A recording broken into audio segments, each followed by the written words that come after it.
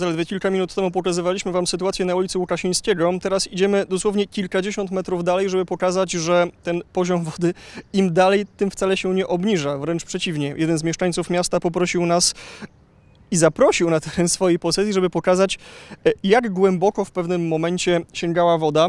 Nie jesteśmy u pana, jesteśmy u pana sąsiada, dlatego że pan musiał się no, dosłownie ewakuować. Uciekać, takie jest. Tutaj u sąsiada jeszcze jest w miarę, jak widzimy, do kolan, a u nas niestety metr niżej, obsadzone wszystko i w domu, no w domu powódź, tak jak widać, nie?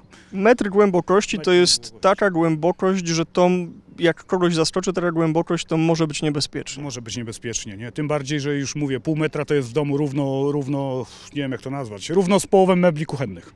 Ma pan podejrzenia, co tutaj się w ogóle stało, że te okolice Łukasińskiego tak mocno podmyło? Ciężko mi powiedzieć na tą chwilę, bo mówię, od czwartej rano tu walczymy i to wszystko idzie z, od prawej strony, także najprawdopodobniej wydaje mi się, że wylała ta rzeczka całkowicie przy budowach domu, gdzie ludzie mieszkają, nie?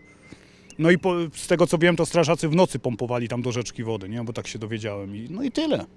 I tyle. No jest tragedia, nie? Tu nie ma co ukrywać, tu jest po prostu tragizm. Nie wiadomo co... Ile tutaj osób może w tych okolicach przebywać? Bo my przed chwilą rozmawialiśmy z osobami, które są tak sezonowo, na chwilę.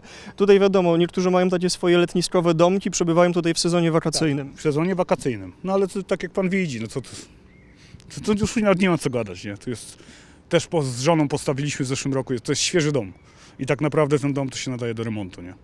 Nie wiem, czy w ogóle będziemy go remontować, bo, bo, bo, bo czy to się w ogóle nie przewróci, nie?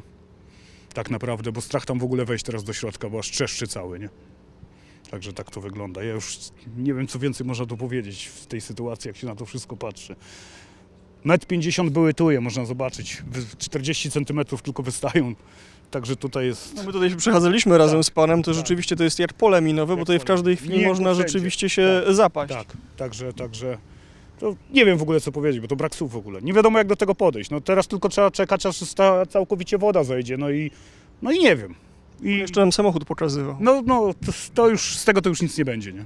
Auto jest zalane do, do, do oparć wodą, nie? Nie zdążyłem po prostu go zabrać. Taka przyszła powódź, nie? Bo to było powódź. takie nagłe, rozumiem. Tak, nagłe, na nabieranie wody. Momentalnie, nie? Także w domu próbowaliśmy z małżonką, bo zaczęło od łazienki lecieć przez kuchnię i, i po prostu odpuściliśmy, bo tu już nie było, nie było co ratować. Już tak, taki szedł opór wody do środka, nie? Także tak to wygląda. Do, do drugiego schodka w domu to jest, mówię, 40 cm wody jest w środku. I tyle.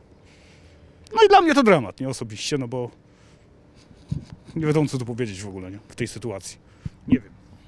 Pierwszy dzień lipca, teoretycznie więc rozpoczęcie sezonu wakacyjnego. Jak widzicie, no, w Szczecinie no, niewymarzone i to mówiąc tak bardzo dyplomatycznie. Za moment kolejne relacje mm, i kolejne informacje na temat tego, co się dzieje u nas w mieście, a obecną sytuację możemy już chyba spokojnie nazwać w niektórych przynajmniej dzielnicach Szczecina sytuacją no, klęski żywiołowej. No bo jak widzicie, no, my tutaj w tym momencie mamy wody głęboko po kolana, a tak naprawdę gdybyśmy poszli na działkę sąsiednią, to myślę, że byłoby jeszcze głębiej. Czekamy na Wasze komentarze i wiadomości i będziemy starali się na bieżąco interweniować w kolejnych przypadkach i w kolejnych miejscach.